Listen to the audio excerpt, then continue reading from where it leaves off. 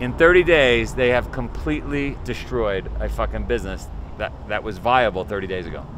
Completely destroyed it over greed. That's where we are.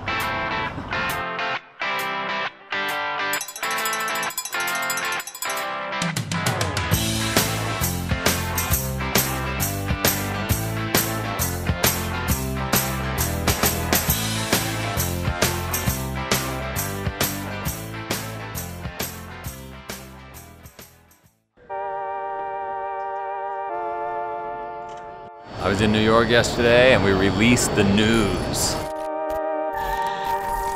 Abu Dhabi 2020 World Championship, big deal. Being out in the desert, camels, falcons, we're going to the fourth element, the sand. Now today we are in Denver and we are releasing a brand new initiative for Spartan called DEKA, D-E-K-A. It's the original spelling of decathlon. It's gonna be 10 events we're having a big dinner tomorrow night, 600 people invited, the launch of a brand new product.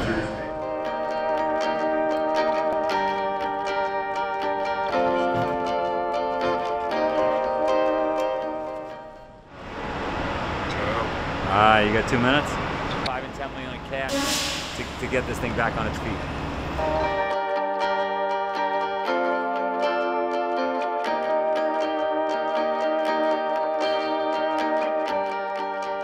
I think it's important though to go out and like what you do is you visit these communities around the world and you get an idea of what they're doing right, what they're doing wrong. I, oh, I, I don't know if you know this. I moved my family to build um, to build out Asia and Western Canada.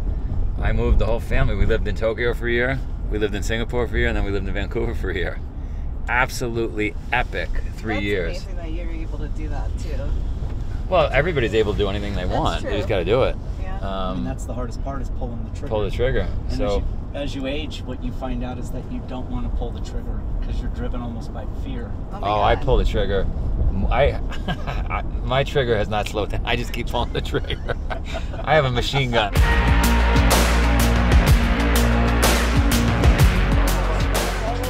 All right, we got Erica here. Erica worked for Spartan. Then she had enough. She was exhausted, so I let her go to school for a month. She was um, just about to take her final test. I said, "What are you doing?" She said, "I'm about to go in for my finals." I said, "Great. Um, call me tomorrow because I need you in Colorado."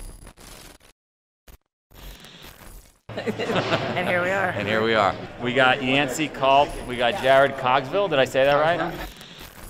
Yancey started this insanity. He called me up. He said, "We got to have a different kind of event." I said, "Okay, you got till Friday."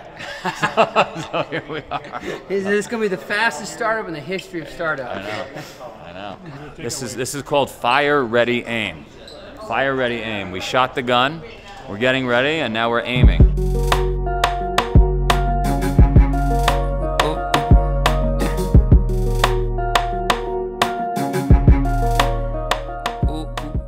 I feel like as a company, the number one problem all day, every day is selling tickets.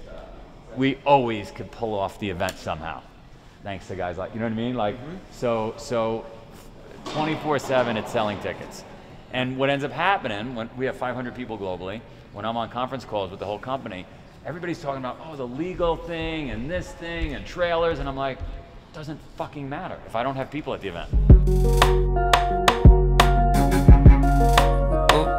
2019, Tough Mudder goes into a process, which means for those of you that don't understand banking, that it's going to be sold, and they put it out to bid. We put in a bid as Spartan. We won the bidding process. We had the best bid. We put in the bid. We signed the papers. Tough Mudder signed the papers. During the process, we find out they owe 40 million. They have 40 million dollars in debt. 32 million of which is a big bank called Global Payments. Anyway, we go sit down with Global Payments. We structure a deal. Fine. They're going to give us terms on the debt. The whole thing is done. We got to be done by year end. The lawyers get in there, do due diligence. I go on my vacation to um, tell you, Telluride. tell you ride. The founders, the founders, who are basically have no value anymore in this thing because they owe $40 million. In the sale, in other words, they're not going to get anything. They're going to get $500,000 each. They decide two weeks before closing that they're going to hold up the sale and demand from the creditor that the creditor pays them $22 million each each in order to go through with the sale In order they to move forward. In order to move forward. Creditor says fuck you. They say fuck you back. Creditor says great. Here's a demand notice. You got you got a week to pay us 32 million dollars. Oh, and we're shutting your registration platform off. Oh, and now you can't make payroll. Founders say go fuck yourself. We don't care. I'm in the middle of this whole thing. In 30 days, they have completely destroyed a fucking business that, that was viable 30 days ago. Completely destroyed it over greed. That's where we are.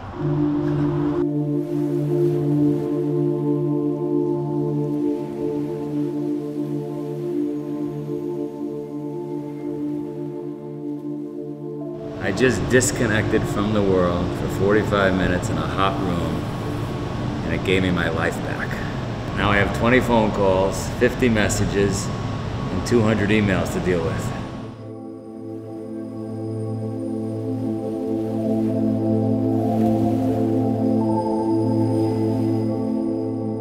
Right, we're on the road, Spartans. I'm at a Whole Foods, and I am in Denver after Abu Dhabi, New York, and Boston. And our focus here in Denver is the launch of DEKA, D-E-K-A. It's at deka.fit. I want you guys to follow it, check it out, because we're gonna be picking some followers. I'm gonna give away some merch.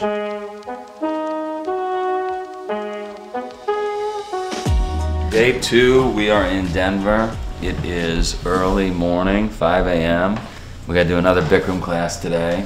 I gotta deal with the um, my kids back home trying to cut weight. Give them a handful of pistachios, both of them.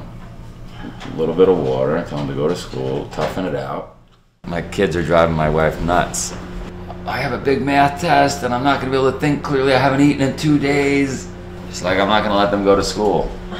And I'm like, life doesn't stop. When time, what happens in Africa when kids don't have food for a month? She's like, they go to school and they walk into the nurse's office and say, I haven't eaten in two days. We're gonna get arrested.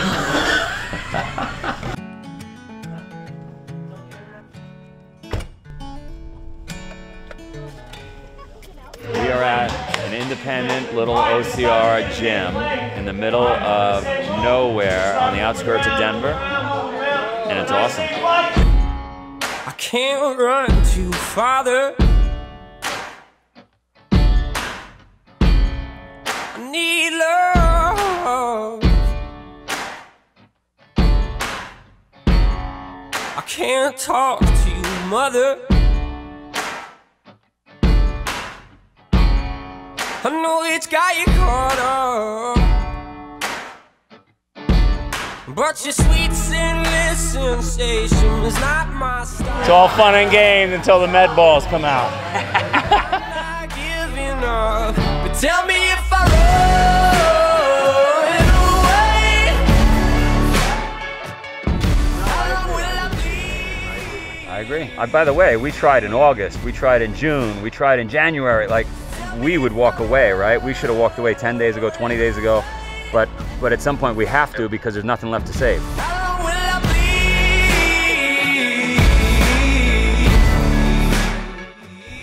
What's happening? I just got to CrossFit Colfax. Why don't you come down here and we can get the 30 minute Hinshaw workout in? Boom. I'm, I'll do that right now. Hurry up, let's go. Workout number two, baby. What do we do as Spartan? I know what you do. What do we do? We, we put a date on the calendar. If there's not a date on the calendar, right? They might not join a gym. They might not go. Even if they join, they might not go. Once a date's on the calendar, you're accountable. Yeah, I mean, and we have we set specific comps here so that we have something to work for. Because if you're just coming in day after day, of course you get a lot of benefit out of that, but there's no there's no motivation and you lose that. Human beings need that motivation and a race, an event is one of the best motivators. So we are in Denver, Colorado at CrossFit Colfax. And what we're gonna do is I'm gonna take Joe through a CrossFit style Hinshaw workout. So the workout is five rounds, every minute on the minute, you are going to complete your number of reps that you, you wrote down during the warm-up. So they're going to complete round one, in whatever finishing time that they want to attack. They're deciding their level of intensity. Their job in round two, three, and four is to match that same finishing time plus or minus one second. That final round, they can go as fast as they can because they can lay on the ground and recover afterwards. What we want to use that final round for is to determine whether or not their first round was attacked with enough intensity or too much intensity. In many cases, people that don't know how to pace, they take it out fast in the beginning and they die. And that's not how to maximize performance. Yeah, that was smart. Chris uh, is one of the top trainers in the country. He trains uh, the top CrossFit athletes, and so he was he was dying to get me on the mat, and um, he chose the right exercise for me. I mean, everybody knows I love burpees, so very interesting to see him break down the burpee into uh, those micro movements. And although it looked uh, silly and simple, uh, it's actually pretty tough.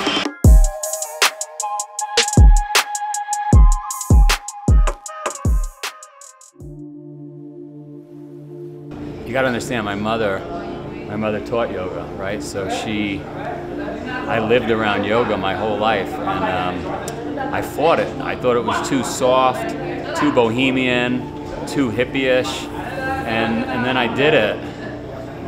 My late 20s, I started to do it a lot, and I was like, oh my God, everything I thought about yoga was wrong.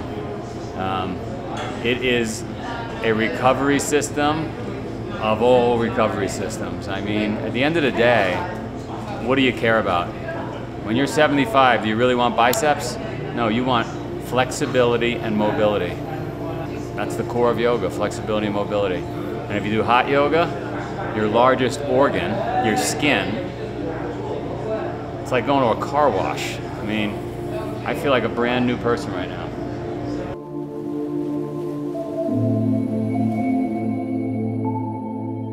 We are here for Spartan Up Podcast. I'm in Denver and I am with a gentleman named C.T. Fletcher. Did I get that right? You sure did. If you don't know him, you've been living under a rock. This guy has got a superpower and it's called motivation.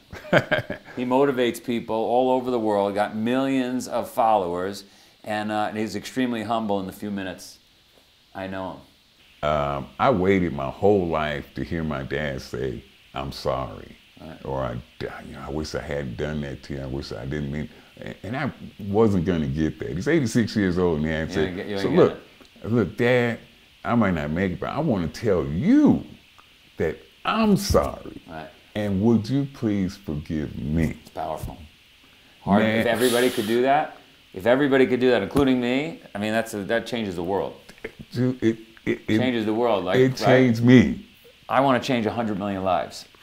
And to change 100 million lives, I said we got to get closer to the urban center and we got to do something that feels more like the gym because not everybody wants to climb a mountain carrying a sandbag crawling on the barbed wire. So we're going to create this thing called DEKA. It's mm-hmm. going to be 10 stations. In between each station is a 500 meter run, and then you go do a station. Station could be a farmer carry, or it could be a medicine ball lift. You'll see the stations Yeah. tonight. And this is going to be our first event in Denver of this new brand called DEKA. It's going to be held at the Bronco Training Center, Broncos Training Center. And, um, and my plan is to do a dinner 60 days before each event around when we do it. Try to get five or 600 people together at dinner, inspire them, and say, hey, I can't change 100 million lives myself. I need you. We need to work together. You got to go rip five, ten people off the couch and get them out here. Not because I'm looking to make more money, but because when they sign up for something like this, it changes their life. It will. You got to have a date on the calendar with something hard, like you had the World Championship. Yep. That made you work harder in the gym. If there's no World Championship, right? You're not working as hard. That's correct. So with DEKAFIT, everyone is and can be an athlete. I did a workout in the morning. It was mid-December. December what? December 9th. You hit me up about something. You said, I'm about to graduate. I you're taking a PR. What, what are you doing? She's taking her final exam. She's graduating. I said, I got this idea. I think we're going to call it DEKA. I want to launch the first race by February. She took her exam, and here we are. We're having dinner.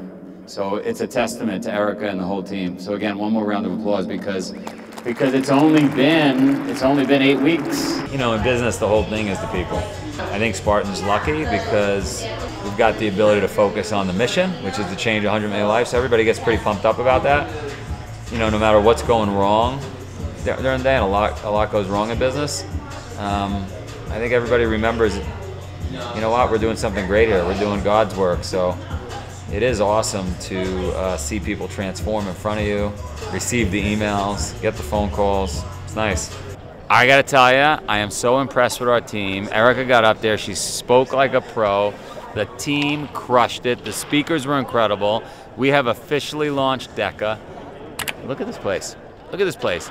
Denver Broncos, jokingly, I don't know, maybe half jokingly, said the winning male at this event on March 21 is going to be able to go as a walk-on for Denver Broncos. So that's big. Become an NFL player. I'm psyched.